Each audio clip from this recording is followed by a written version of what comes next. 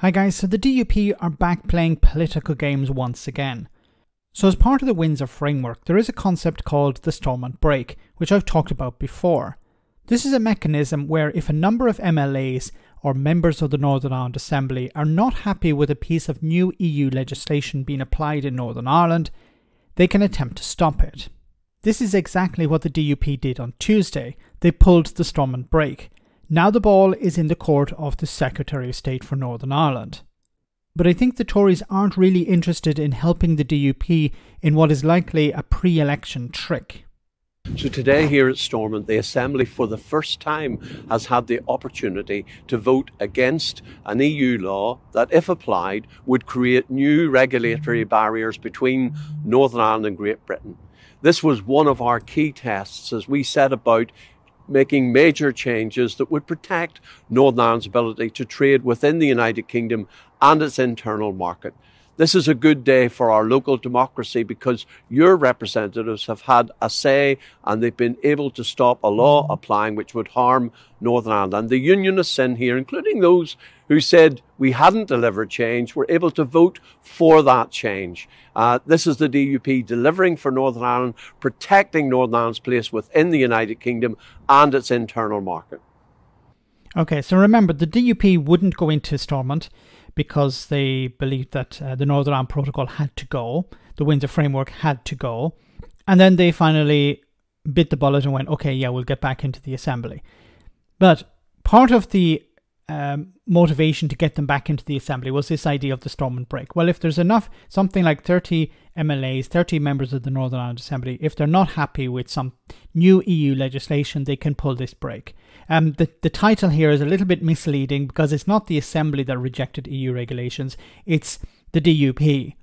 Now, when I said this is a political trick or some sort of political shenanigans, there's an election coming, and the DUP are deeply concerned about the extreme wing of unionism, that being the TUV, stealing votes from them. And we saw last week how Reform UK and the TUV signed a sort of pact where they would help each other out, it seems. We don't know the full details of that. We'll have to wait some more time. But it seems that perhaps there's money coming from GB to help the TUV drive the DUP further to the right or drive them, I don't know where, um, to protest more against the Northern Ireland Protocol or the Windsor Framework.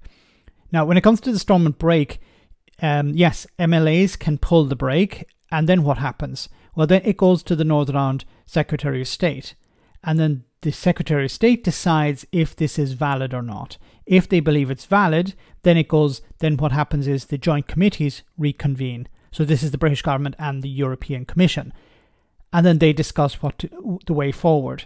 But I don't actually think it's going to get that far because the DUP, not that I've seen, have brought they haven't brought anything forward to legitimize the the the use of the pre- of the brake. They have started the process, but I don't think the Secretary of State is going to uh, play ball here because they're going to look at this and say there's no there's no real grounds for us to stop this legislation going through.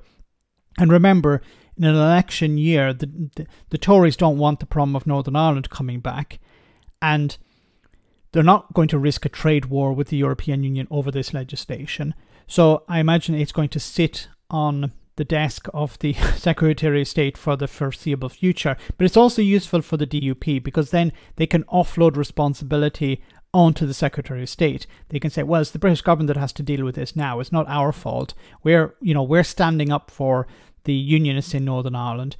Um, it now it's the it's the job of the the British government to play ball, and I think it's going to end there.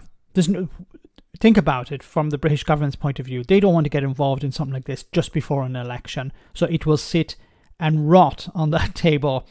Um, I don't see it going forward, and for the DUP side, they can somewhat diminish the threat of the, the TUV by saying, see, we've actually pulled the brake, we've got back into the assembly, we pulled the brake, we're stopping this legislation, and now it's the job of the, the British government to deal with it.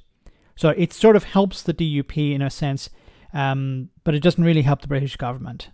Let me know in the comment section, guys, what you think. As always, your comments are greatly appreciated. Thanks a lot.